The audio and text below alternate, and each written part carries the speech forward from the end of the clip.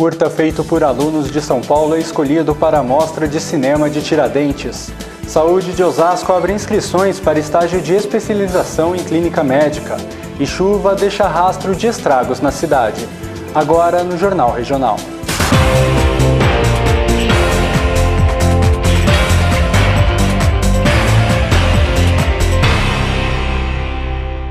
Olá, a alta de 15% no dólar em 2013 é maior dos últimos cinco anos e responsável por encarecer passagens e hotéis contados em moeda estrangeira, não impediu que os gastos dos brasileiros no exterior crescessem e batessem um novo recorde histórico.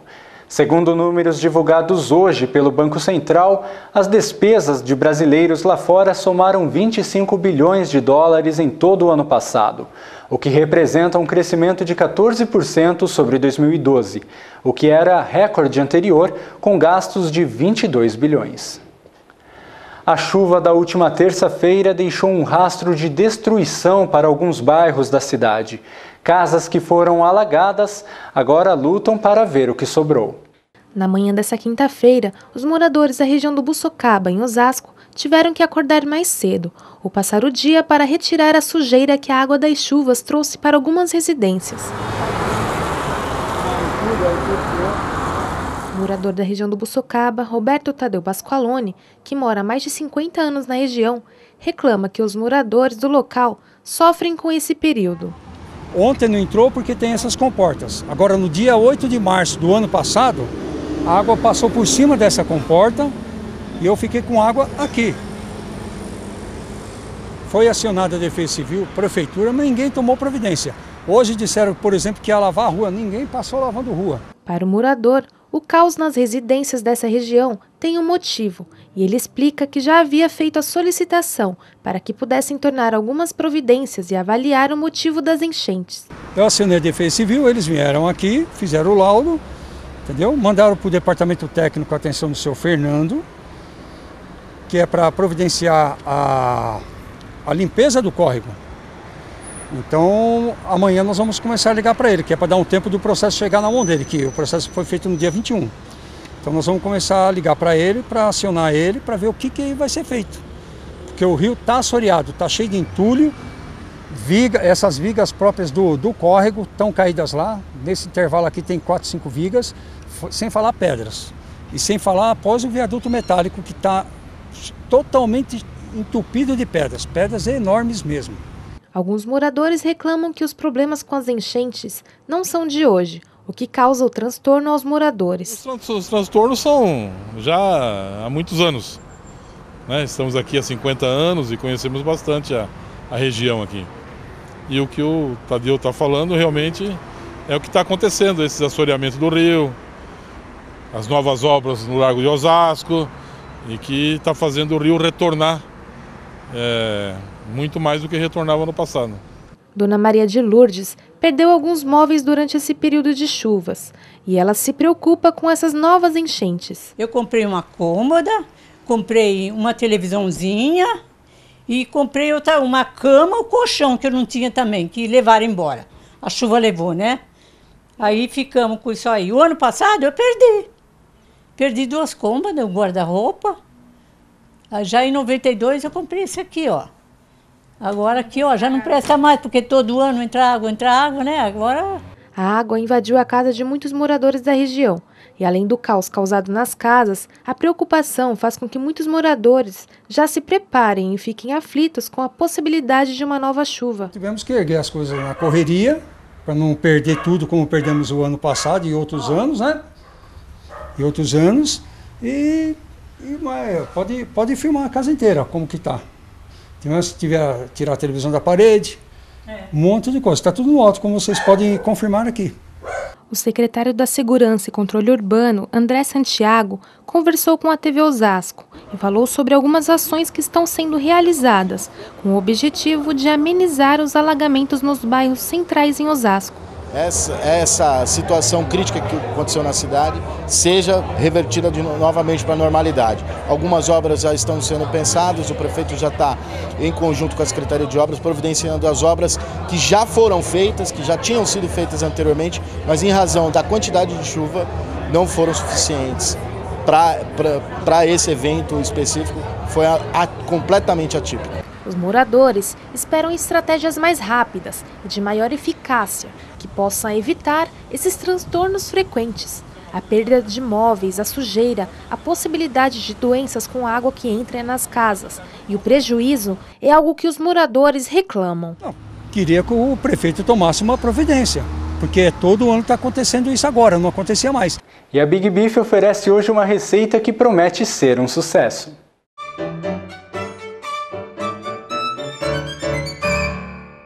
Olá pessoal, estamos aqui mais uma vez. Meu nome é Natália Silva e essa é minha assistente Eliane, tudo bem? Tudo bem. E hoje eu vou trazer uma receita para você, mais uma vez uma receita fácil e prática de fazer. Fraldinha ou creme de batata. 1 kg de fraldinha, uma colher de sopa de alho picado, um quarto de xícara de chá de molho shoyu, duas colheres de sopa de molho inglês, um quarto de xícara de cebola ralada, pimenta do reino e sal a gosto. 5 batatas descascadas e cortadas em cubos, 1 quarto de cebola picada, 3 quartos de xícara de chá de creme de leite fresco, meia colher de manteiga, meia xícara de chá de queijo parmesão ralado. Vamos começar fazendo o creme de batata. Você vai pegar a batata cortada em cubos e vai bater ela no liquidificador. Lembrando que essa batata, ela está crua. Agora você vai colocar a manteiga, a cebola, creme de leite fresco e um pouquinho de sal. E você vai levar para bater até ficar um creme homogêneo.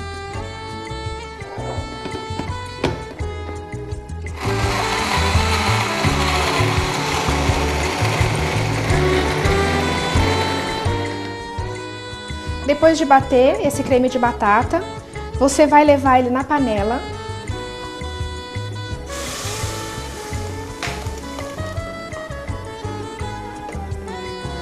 E vai mexer 10 a 15 minutos. Bom, você vai temperar a sua fraldinha com alho picado.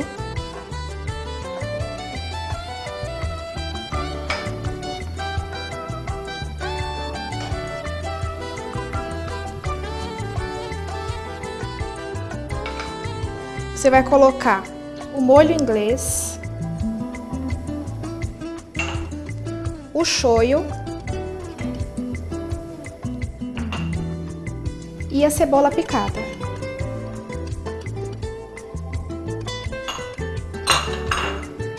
E um pouquinho de pimenta do reino.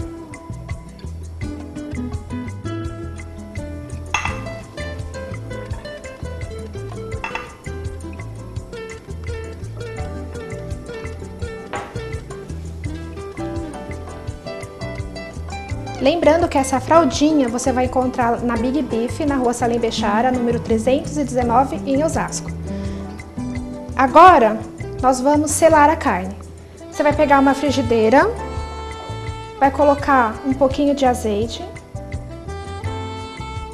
só um pouquinho mesmo, porque essa frigideira já é antiaderente.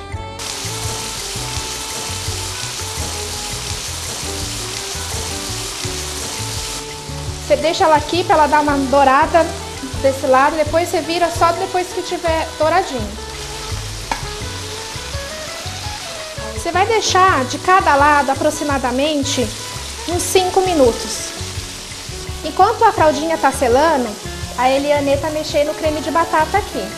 Inclusive, ele já está pronto. Você pode desligar já enquanto eu termino de selar a carne.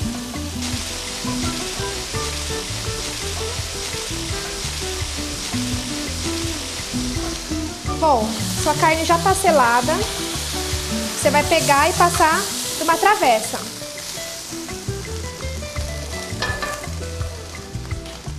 Agora, o creme de batata que a Eliane estava mexendo, ele fica nessa consistência.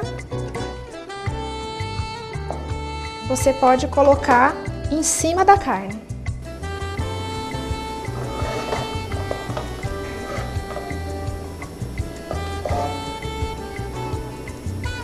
Você vai polvilhar o parmesão ralado.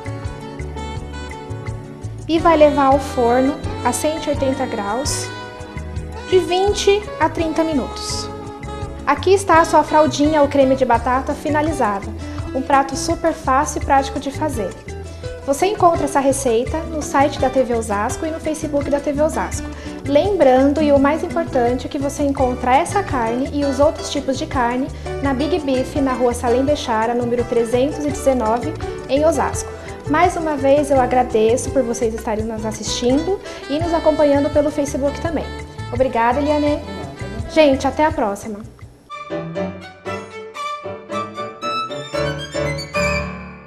E após o intervalo, tem agenda cultural. Voltamos já.